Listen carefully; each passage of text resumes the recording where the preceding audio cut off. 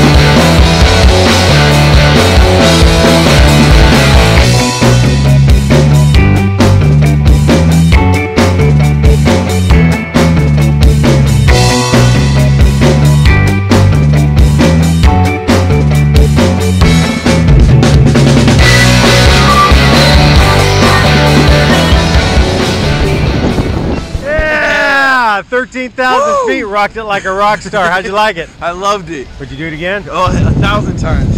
Yeah! Welcome to Skydive Taft. Hell yeah.